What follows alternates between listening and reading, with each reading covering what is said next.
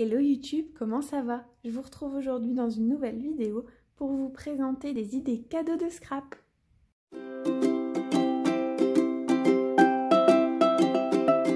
Bienvenue dans cette nouvelle vidéo où je vais vous présenter aujourd'hui 10 euh, idées euh, de cadeaux à réaliser en scrap et à offrir à nos proches.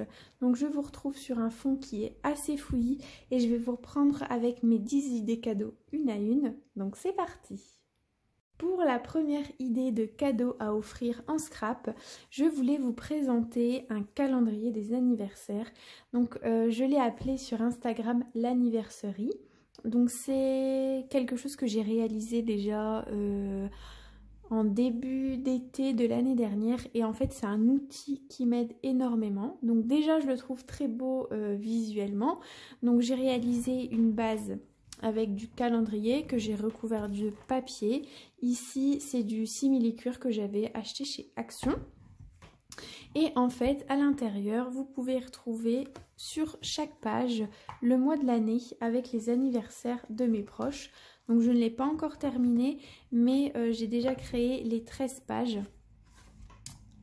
Donc 12 pour les mois et puis la page d'accueil qui ressemble à ça. Pour le réaliser, j'avais utilisé la collection de chez Artemio Slow Life que j'adore, qui est trop trop belle. Et en fait, du coup, vous pouvez retrouver à chaque mois l'intégralité des anniversaires. Donc je trouve que c'est une très bonne idée de cadeau si jamais euh, euh, vous devez offrir un cadeau à une personne qui a une tête en l'air, par exemple. C'est un cadeau qu'on aurait très bien pu m'offrir pour les anniversaires. Mais euh, c'est aussi un bel objet je trouve donc c'est posé dans notre chambre avec mon copain et comme ça on l'a en visuel tous les jours et puis ça nous permet d'éviter d'oublier les anniversaires donc je trouve que c'est une très bonne idée de cadeau, c'est facile et rapide à réaliser.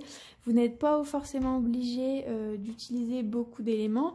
Par exemple, moi j'ai utilisé du scratch pour coller les anniversaires. Comme ça, ça me permet, si jamais il y a euh, une personne qui fête son anniversaire avant le 10 août, de pouvoir tout décaler.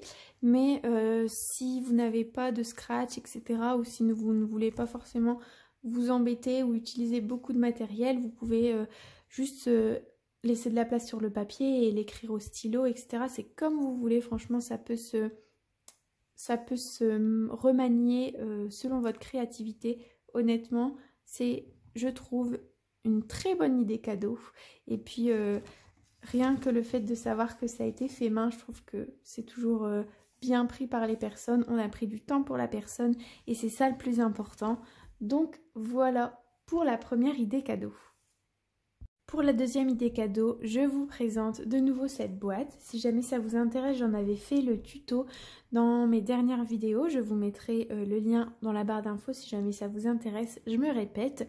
Et donc en fait, cette boîte, elle est super utile et on peut y mettre plein de choses. Vous pouvez y mettre autant des chocolats. Euh, c'est euh, l'idée principale que j'avais présentée dans, euh, dans, la vidéo tuto mais vous pouvez également y mettre des mots doux par exemple et en mettre euh, je ne sais pas 365 euh, et que la personne puisse en piocher enfin, un petit mot par jour, des petits mots doux, euh, ce que vous pensez d'elle, des citations euh, motivantes qui font plaisir au cœur, etc. Donc vous pouvez autant y glisser des chocolats que des petits mots. Vous pouvez également y glisser, ça j'adore le concept et l'idée, vous pouvez y glisser à l'intérieur des bons que la personne peut piocher, par exemple un bon pour aller au cinéma, un bon euh, pour euh, avoir un repas euh, au restaurant, un bon pour euh, peu importe une journée shopping entre copines, etc. C'est, je trouve, une bonne idée à offrir à une amie ou à son copain par exemple, et à l'intérieur duquel il pioche et ça lui offre des petits cadeaux tout au long de l'année. Je trouve ça trop trop cool comme idée. Donc voilà la deuxième idée cadeau. Après bien sûr, il y a des bons, il y a des citations, vous pouvez glisser des chocolats, des cartes cadeaux, etc mais je trouve ça trop cool et puis c'est fait avec le cœur et le l'idée des bons je trouve ça trop cool parce que c'est un cadeau qui dure dans l'année et euh, ça permet de passer des bons moments avec la personne donc je trouve que c'est une très très bonne idée Pour la troisième idée cadeau, c'est encore un tuto que je vous ai présenté dans mes dernières vidéos et en fait euh, c'est une boîte où l'on peut ranger ses photos. Donc si c'est une personne qui n'aime pas trop faire du scrap euh, mais qui a beaucoup de photos et qui aime regarder des photos, sans forcément offrir un mini album, vous pouvez très bien lui offrir une boîte photo. Donc là c'est sur le thème de Noël, mais vous pouvez lui offrir des boîtes photos euh, qui sont un peu plus intemporelles, on va dire. Si jamais vous avez passé un Noël avec cette personne, vous pouvez offrir cette boîte photo avec à l'intérieur plein de photos de Noël euh, de, du Noël de l'an dernier par exemple. Vous pouvez bien sûr la faire plus fine. Je pense pas que vous ayez autant de photos de Noël. Enfin, je sais pas. En tout cas, moi non. Mais euh, ça peut être une très belle idée cadeau pour pouvoir y glisser plein de souvenirs sans forcément que ce soit un mini-album. J'enchaîne du coup avec la quatrième idée, une idée euh, qui je trouve pas forcément la meilleure, mais euh, l'une des meilleures, c'est les mini-albums photos. Un mini-album photo, ça permet, euh, je trouve, enfin c'est un cadeau symbolique, c'est un cadeau vraiment qui vient du cœur, et je trouve que c'est un très bon cadeau pour immortaliser des moments. Donc Pareil, j'en ai fait des tutos, euh, j'en ai fait des présentations sur mes dernières vidéos durant le mois de décembre, mais je voulais vous présenter ces deux petits euh, mini-albums. Donc c'est tout simple, ici c'est sur le thème de Noël, mais si jamais vous avez passé un très bon moment lors d'un anniversaire, une visite, une promenade, etc., c'est l'occasion d'immortaliser tous ces moments, d'y coller toutes vos photos, passer ensemble et de l'offrir à la personne. C'est un cadeau super symbolique que j'adore et que j'adore recevoir. Euh, et pas forcément, enfin, et puis même si vous voulez offrir un mini-album et vous n'avez pas forcément beaucoup de photos, vous pouvez le laisser tout autant neutre. Par exemple, ce mini-album là, je compte l'offrir. Et puis à l'intérieur, je vais laisser la personne y, y accoler les photos qu'elle souhaite. Et je trouve que c'est aussi une très bonne idée parce que même si ce sont des photos qui n'ont pas été faites avec moi, la personne aura toujours un petit souvenir de moi et elle aura un autre souvenir, euh, elle aura euh, les photos de l'autre souvenir. Donc je trouve ça trop trop cool. Donc voilà encore la quatrième idée de cadeau. Pour une cinquième idée de cadeau, je voulais vous présenter euh, cette idée qui est une boule de Noël. Une boule de Noël, c'est pour moi aussi symbolique de toute façon à partir du moment où on y met du cœur et je trouve à partir du moment où on le réalise de soi-même, c'est toujours symbolique. Et une boule de Noël, je trouve que c'est une très bonne idée par exemple à offrir euh, à un neveu, à une nièce, à un filleul ou, ou un petit bébé qui vient d'arriver dans la famille et euh, qui aura sa boule de Noël à Noël et jusque enfin qui pourra la garder jusqu'à la fin de sa vie quoi. Et la voir euh, une fois par mois euh, sur le sapin je trouve que c'est une idée très très symbolique. Là c'est une boule de Noël que j'ai réalisée euh, avec le kit de boule de Noël de chez Action. Mais vous pouvez la réaliser pas forcément comme ça. Vous pouvez la réaliser sur un rondin de bois la pyrogravée la je Enfin, il y a des milliards d'idées de boules de Noël, mais je trouve que c'est une très très bonne idée de cadeau à poser sur le sapin. Ensuite, euh, un petit euh, cadeau pour les personnes qui aiment lire. Je trouve ça très cool de faire des marque-pages personnalisés euh, en scrap. Donc là, par exemple, ce sont ces deux-là, ce sont des marque-pages que j'ai réalisés il y a assez longtemps avec ma première palette d'aquarelle au tout début. Donc c'est des marque-pages qui certes ne sont pas les plus jolies, mais c'était pour essayer à l'aquarelle. vous avez peut-être un peu plus de comment dire, de d'agilité avec l'aquarelle que moi pour en faire des très beaux marque-pages. Mais ça peut être une idée. Si jamais également, j'ai reçu ces marque-pages là enfin je les ai achetés de chez Alexia. Donc lorsqu'elle a euh, lancé sa boutique, donc si vous ne connaissez pas sur Instagram, c'est Alexia Crafting. Je vous mettrai également le lien de euh, sa boutique en ligne. Euh, où elle réalise des marque-pages et en fait je trouve que c'est une très très bonne idée. Donc si jamais vous ne savez pas faire de marque-page vous-même, vous pouvez toujours aller la retrouver sur sa boutique et lui en commander, mais euh, vous pouvez également en réaliser de vous-même. C'est quelque chose qui peut être très rapide à réaliser et très simple, qui nécessite pas forcément beaucoup de matériel et donc voilà une idée de cadeau, surtout pour les personnes qui aiment lire. Ensuite, pour la sixième idée de cadeau, j'aimerais vous présenter euh, une idée. Donc c'est un cadeau que j'ai déjà réalisé mais que j'ai offert et dont je n'ai pas de photo. Mais par exemple de faire des cadres personnalisés, des cadres photos personnalisés. Donc vous pouvez utiliser cette base là ou un cadre photo que vous personnalisez vous-même, que vous, rajoutez euh, des autocollants, euh, des des scrap bidules, etc. C'est comme vous voulez. Moi, je sais que j'avais utilisé cette base. Donc, en fait, c'est les petits, petit support en bois où à l'intérieur vous retrouvez souvent les lettres de l'alphabet chez Action. Donc en fait j'avais décollé toutes, euh, les, bouts de bois à l'intérieur. J'y avais collé une photo avec un beau fond de papier. J'y avais mis des lettres euh, avec un petit tag pour rappeler euh, le jour. Avec plein de fanfreluches, c'était super beau. Et je trouve que ça peut être une bonne idée d'offrir quelque chose euh, comme un cadre photo qui est intemporel, qui peut être glissé dans n'importe quel endroit de la maison et c'est super rapide à faire et la base est peu chère.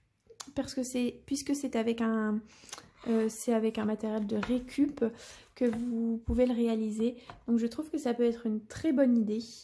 Après, euh, comme je dis, c'est pas, vous n'avez pas nécessairement vous n'êtes pas obligé nécessairement d'utiliser cette base, mais vous pouvez acheter euh, un cadre, vous en trouvez partout des cadres, euh, surtout en période de fête, je trouve que ça se multiplie encore plus et vous pouvez y mettre une photo de vous avec la personne ou une photo qui est euh, symbolique pour la personne et y mettre plein de petits scrap bidules autour. Et je trouve que ça peut être une très très bonne idée de cadeau. Ensuite, bien sûr, les cartes. Donc, c'est pas vraiment un cadeau en soi, mais ça peut accompagner un cadeau euh, que vous faites. Et je trouve que ça peut être une très bonne idée pour y marquer tous nos sentiments. On ne se dit pas forcément assez euh, ce qu'on pense de la personne, tout ce qu'on aime chez elle, etc. Et je trouve qu'un petit mot, lorsqu'il est bien écrit et qui vient du cœur, ça fait toute la différence et euh, c'est ce qui est le plus émouvant, je trouve, dans le cadeau. Donc, une petite carte, là par exemple, je vous présente encore mes cartes chez que j'adore. J'ai vraiment adoré les réaliser. Si jamais ça vous intéresse, n'hésitez pas à aller voir. J'ai fait une vidéo euh, présentation de cartes de Noël et une vidéo tuto cartes chez. Donc, si ça vous intéresse, n'hésitez pas à aller les voir. Mais je trouve que euh, un petit mot symbolique qui vient du cœur, ça touche toujours même si c'est pas accompagné d'un très gros cadeau. Franchement, j'adore ces cadeaux-là. Pour l'avant-dernier cadeau, je prends en exemple ce carnet, mais en fait, euh, c'est pas vrai. Enfin, je souhaite vous parler d'un cadeau carnet, mais c'est pas vraiment euh, cette base-là que je souhaite vous présenter. J'en ai pas sous la main, c'est pour ça que je vous présente celui-là. C'est un carnet tout basique qui vient de chez Action, mais une idée cadeau, c'est euh, de réaliser un carnet pour la personne. Je trouve Pour moi, écrire, ça me détend beaucoup. Euh, écrire sur ce qui s'est passé la journée ou sur euh, nos ressentis du moment. Donc, c'est génial, je trouve, de faire un carnet pour la personne. Soit vous pouvez acheter un carnet tout, euh, tout simple que vous scrapez à votre manière. Donc, vous mettez une jolie couverture. Vous pouvez y mettre je sais pas, des petits mots à l'intérieur sur certaines pages, etc. Ou vous pouvez très bien créer votre carnet euh, totalement de A à Z, donc soit en faisant une reliure euh, avec la cinch par exemple, ou en faisant une reliure euh, avec du papier, de la colle, enfin c'est vraiment comme vous voulez, laissez exprimer votre créativité. Je trouve qu'un carnet personnalisé pour la personne, c'est une trop trop bonne idée. soit comme cadeau unique ou euh, en plus d'un autre cadeau. Je trouve que c'est une très bonne idée. Et euh, c'est assez simple. Je sais que moi avec la cinch, euh, je peux prendre la cinch et des bases de feuilles blanches, toutes simples, tout relié et faire un très beau carnet avec ça. Donc ça peut être une bonne idée de cadeau.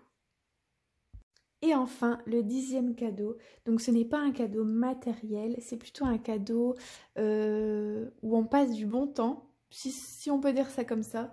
Donc euh, c'est de proposer une activité de scrap à réaliser avec la personne.